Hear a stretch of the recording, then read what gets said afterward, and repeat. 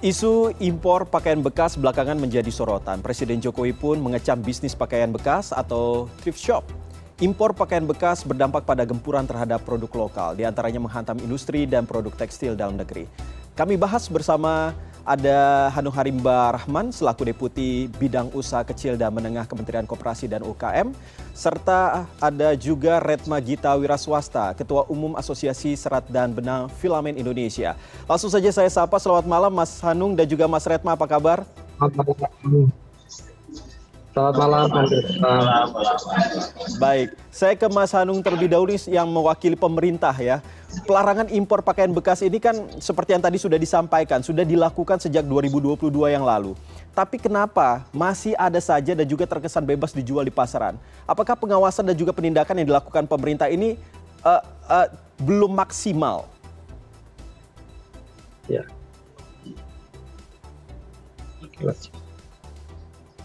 Mas Anung? Mas Anung bisa mendengarkan suara saya? Ya. Terdengar, terdengar. Oke, Mas Anung, bagaimana tanggapan Mas Anung? Ternyata di pasaran sendiri ini masih beredar banyak sekali dengan pakaian-pakaian uh, bekas impor. Ini sebenarnya tindakan dari pemerintah sendiri apakah sudah maksimal atau belum? Ya, tentunya perlu ditingkatkan kembali seperti yang diminta oleh Presiden ya. Mm -hmm. Jadi kita lakukan dari uh, beberapa sudut ya. Pertama, sebelum barang itu masuk, tentunya biaya cukai ini uh, perlu lagi meningkatkan lebih gencar lagi mengenai upaya penindakan uh, pada wilayah-wilayah khususnya Timur Sumatera, Batam, dan Kepulauan Riau yang sering digunakan untuk sebagai jalur tikus untuk penyelundupan barang-barang bekas ini. Uh-huh. Yang kedua kita tingkatkan lagi sebenarnya sudah ada satgas untuk penindakan ini. Mungkin satgas ini akan segera lebih intensif lagi melakukan penindakan uh, di lapangan ya, di ter, terutama di uh, wilayah di luar kepabeanan. Ya. Oke. Apakah ini artinya bahwa Satgas ini memang sudah berjalan juga ya? Sudah berjalan tapi mungkin belum efektif ya. Ini yang perlu kita tingkatkan adalah intensitas dan efektivitas untuk penindakan. Oke. Dan juga law perlu ditingkatkan. Hmm, hmm, hmm. Apa kendalanya sehingga uh, patut untuk ditingkatkan lagi ini, Mas Hanum? Jadi banyak. Pertama memang uh, wilayah kita yang begitu luas gitu ya. Kedua ya adalah uh, masyarakat yang masih banyak yang meminati produk-produk ini gitu ya. Mm-hmm. Nah ini yang perlu kita juga mengedukasi masyarakat mm-hmm. dan selain itu juga banyak yang nggak sadar bahwa ini ada sanksi hukumnya loh yang cukup cukup uh, berat ya. Mm-hmm. Itu yang nanti perlu kita ingatkan dan uh, apa namanya perlu kita tegakkan kembali. Oke, sanksi hukumnya seperti apa, Mas Anung? Jadi uh, berdasarkan Undang-Undang Nomor Nomor uh, Nomor 7 tahun 2014 hmm. ini bisa dikenakan sanksi uh, pidana lima tahun, hmm. maksimal lima tahun, denda 5 miliar, gitu ya. Denda sampai 5 miliar Untuk, ya. Hmm cukup berat sebenarnya ini ya. Oke. Okay. Jadi ini uh, mohon ini menjadi perhatian gitu ya mm -hmm. uh, kita bersama gitu mm -hmm. dan kami berharap sih apa namanya ini diutamakan penindakannya kepada uh, supplier besarnya gitu ya. Oke, uh, berbicara soal uh, peminatnya yang uh, ternyata masih ada nih Mas Hanung, apakah sudah ada pertemuan dengan para pedagang yang ada di pasar-pasar uh, yang memang khusus menjual barang-barang pakaian bekas impor ini? Apakah sudah ada obrolan-obrolan yang dilakukan oleh pemerintah terhadap mereka? Uh, saat ini mungkin tim dari uh, tim uh, Satgas itu sudah melakukan, gitu ya, karena ini tadi saya sampaikan ada satgas khusus gitu ya yang hmm. terdiri dari Kementerian Perindustrian, Kementerian Perdagangan, Kementerian Keuangan dan juga uh, Barreskrim. Hmm. Saya rasa yang utamanya nanti uh, akan melakukan uh, komunikasi intensif dengan uh, para pelaku uh, penjual retail. Uh, uh, saya ke Mas uh, Retma. Mas Retma, ini sebenarnya seberapa besar sih pengaruh pakaian bekas impor bagi pasar industri tekstil di Indonesia khususnya?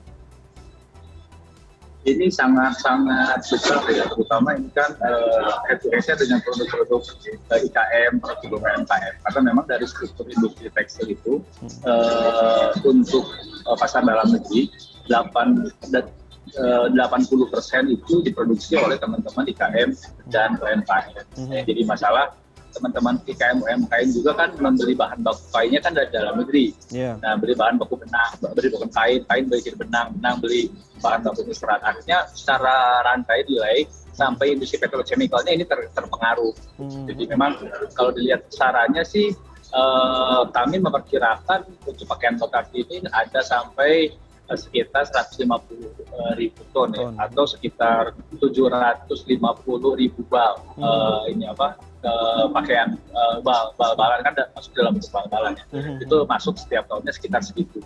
Hmm. Nah sebetulnya ini kan uh, isunya sudah lama ya sejak 2015 bahkan sudah ada bahkan peraturannya dari 2012 juga sudah ada peraturan larangan itu dan terus diperbaiki dan terakhir kemarin uh, Permendak 40 tahun 2022 yang terkait larangan dan ada sanksi hukum pidana maupun sanksi hukum denda mm-hmm. di situ. Tapi ini kan karena terjadi pembiaran ya selama bertahun-tahun pembiaran-pembiaran yang akhirnya sedikit sedikit lama-lama makin lama makin banyak dan akhirnya menjadi tren. Nah ini yang menjadi masalah. Sudah jadi tren gaya hidup anak-anak muda kelas menengah bahkan kelas menengah pun sudah mulai. Kalau dulu awal-awal hanya masyarakat kelas bawah yang beli karena harganya murah. Yeah. Kalau sekarang karena masif gitu ya barang-barang yang datang pun branded, mm-hmm. akhirnya masyarakat kelas menengah terutama anak-anak muda menjadi tren dan menjadi gaya hidup. Nah ini yang makin repot karena pembiaran-pembiaran ini terjadi maka uh, kondisinya menjadi parah seperti sekarang. Mm-hmm. Tapi apa betul uh, Mas Retma bahwa uh, tahun 2022 yang lalu itu banyak uh, PHK begitu akibat adanya uh, baju impor bekas dari luar negeri ini? Iya, jadi salah satu salah satu aspek kenapa terjadi PHK, memang hmm. PHK terjadi, hmm. tapi ini bukan satu-satunya gitu ya. Memang awalnya karena pasar ekspornya menurun. Tapi pasar ekspor menurun itu hanya faktor yang menurut saya nggak dominan. Yang paling besar dominannya adalah hmm. uh, pasar dalam negeri yang diserbu oleh barang-barang ilegal, termasuk barang-barang bekas. Ini kan masuknya juga secara ilegal gitu ya. Jadi uh barang bekas baik kain-kain uh, yang ilegal, pakaian-pakaian uh, ilegal, termasuk yang uh, pakaian-pakaian bekas dan yang masuk sudah pasti ilegal karena kan ada larangannya. Uh, nah, uh, tadi Mas Hanung sempat mengungkapkan nih Mas Retma bahwa uh, sudah dibentuk satgas dan juga tentunya karena jangkauan yang cukup luas ternyata memang itu salah satu yang membuat kendala kenapa uh, kasus soal baju impor bekas ini masih terus terjadi. Nah, tanggapan Mas Retma sendiri dengan apa yang sudah dilakukan pemerintah bagaimana? Iya, ini sebetulnya kita kita udah udah bawa masalah ini cukup lama ya dari tahun kemarin. Bahkan terakhir kemarin di Menko pun uh, sekitar dua minggu yang lalu kita bicara hal ini. Gitu. Mm -hmm. Tapi kan memang belum ada tindakan yang clear dari pemerintah. Sebetulnya hmm. ini kita isu sudah sangat lama dan kita sudah memberikan masukan-masukan. Hmm. Masukan yang pertama itu terkait dengan uh, memang importasinya dilarang, uh, ada ada payung hukumnya. Tapi kan peredarannya itu tidak ada peraturannya, uh, tidak ada pelarangan itu peredarannya. Tapi sebetulnya pemerintah dalam hal ini Kemendak itu punya tools yang namanya uh, labelisasi bahasa Indonesia. Kalau pakaian bekas kan nggak ada labelnya, udah pasti itu melanggar hukum. Jadi di, di, di wilayah peredaran pun itu sebetulnya sudah bisa ditegakkan. Masalah SNI juga kan pakaian bekas kan nggak ada SNI-nya, itu pun bisa ditegakkan. Terus juga masalah pajak uh, kalau kita ngelihat penjual-penjualan pakaian bekas ya di Senen gitu ya di pasar baru hmm, itu kan nggak pada nggak ada PPN-nya gitu ya harusnya yeah. dari dulu petugas pajak sudah sudah apa sudah menggerebek gitu ya ya apa e, kalaupun kalau mau gitu. Ya. artinya banyak tools yang bisa dipakai asal pemerintah mau e, bekerja lebih e, bekerja sesuai fungsinya. Bukan saya tidak bisa bicara bekerja ekstra tapi bekerja sebagaimana fungsinya. Kalau fungsinya jalan e, di Kemendak kan ada direktorat jenderal tertib niaga ya. Itu kan harusnya sudah bisa jalan gitu ya. Kalau misalkan mereka tidak punya apa aparat kan bisa bekerja sama dengan aparat e, penegak hukum gitu ya ataupun dengan Pemda. Ini hmm. sekarang kayak di Senen. Kita tahu pasar Senen itu kan jualannya impor pakaian bekas semua. Tapi kok tetap dikasih izin sama Pemda. Hmm. Nah ini kan juga aneh gitu ya. Hmm. Kenapa Pemda memfasilitasi pedagang-pedagang yang jelas-jelas memperjual, memperjualbelikan barang-barang uh, ilegal. Gitu. Begitu juga dengan pajak. Oh nggak pernah masuk ke sana sih. Gitu ya. Saya kira kalau pemerintah menjalankan uh, dengan fungsinya ya saya kira harusnya ini tidak terjadi. Oke, saya kembali ke Mas Hanung. Mas, Mas seperti yang tadi sudah disampaikan bahwa uh, memang uh, banyak celah tentunya yang harus di, uh, di apa ya, di, uh, dilihat dan juga di apa uh, ditindak begitu terkait dengan di mana barang-barang uh, im, bekas impor ini bisa masuk ke Indonesia dan tentunya juga berbicara soal itu banyak juga nih warganet yang mengaitkannya dengan bea cukai yang belakangan juga jadi sorotan. Bahkan di tahun 2020 lalu ini Dirjen Bea Cukai diperiksa ke Jagung terkait impor pakaian bekas. Apakah bisa dipastikan bahwa yang melalui gerbang resmi seperti pelabuhan dan bandara ini sudah tidak ada lagi. Atau juga seperti jalur-jalur tikus itu sudah tidak ada lagi. Mungkin saja kong kali kong dan lain sebagainya. Apakah juga pemerintah ini tidak hanya bea cukai saja yang dilibatkan ataukah ada yang lain dilibatkan? Iya, jadi sebenarnya eh, tidak terlalu sulit ya untuk hmm. untuk apa namanya menindak ya, uh, ini. Karena semuanya ini sudah terlihat jelas kok ya jalurnya juga mau ditelusuri itu hmm. tidak terlalu sulit ya untuk mencari uh, siapa importirnya dan sebagainya tinggal saya pikir ini penegakan hukumnya tadi hmm. yang sebenarnya sudah sanksinya yang sudah di, digariskan oleh undang-undang kita itu lima tahun hmm uh, maksimal dan denda 5 miliar gitu ya. Mm-hmm. Saya rasa kalau penegakan hukum itu konsisten dan ada efek jerah gitu ya, mm-hmm. efek jerah dilakukan, mm-hmm. maka orang-orang uh, tidak akan melakukan kembali. Mm-hmm. Ini contoh kemarin mm-hmm. pada waktu apa namanya ada penindakan-penindakan yang dilakukan di pada saat uh, apa namanya uh, pembatasan kemarin terhadap produk-produk yang di, diedarkan lewat e-commerce dan sebagainya itu itu membuat efek jerah uh-huh. yang meskipun memang tidak tepat dilakukan ya. Uh-huh. Jadi saya rasa kalau ada penegakan hukum yang yang cukup keras seperti yang digariskan pada undang-undang efek jerah itu uh-huh. itu akan mengurangi apa namanya uh, uh, penyelundupan ini saya pikir.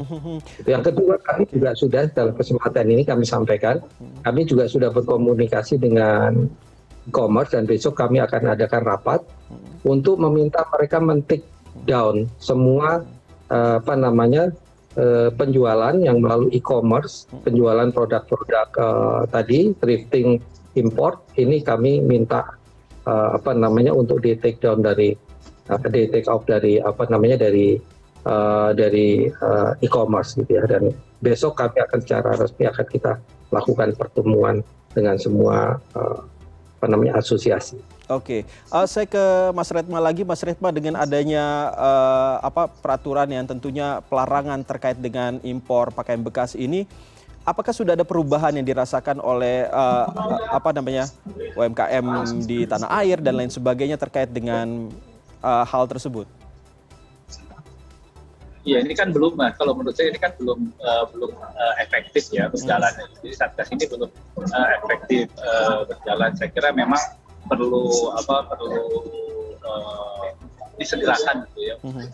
untuk uh, jalan lebih baik yang uh, penertiban yang di online maupun yang di offline tadi seperti Pak uh, apa sampaikan itu memang kita kita menemukan di offline di online itu sangat sangat banyak. Tapi saya kira sih kalau hanya di take down Pak uh, ini jadi mubazir maksudnya mubazir karena akan nanti akan datang lagi datang lagi gitu. Kalau sebetulnya begitu di karena kan uh, si siapa uh, platform online ini kan punya punya nama uh, tokonya, punya nama apa uh, orangnya gitu ya. Kalau itu didatangi uh, atau dia langsung diamankan terus ditelusuri ke atasnya siapa nih dia dapat barang dari mana ada distributornya mana. Distributor ditelusuri lagi dapat importirnya siapa. Jadi saya kira karena ini importirnya sebetulnya tidak terlalu banyak. Kalau kita dihadapkan dengan para pedagang hmm. itu akan sangat banyak kita berhadapan gitu ya. Dan tentu akan ada pertentangan juga di sana sini gitu ya. Dihadapkan dengan pedagang bisa ratusan ribu yang akan kita hadapi.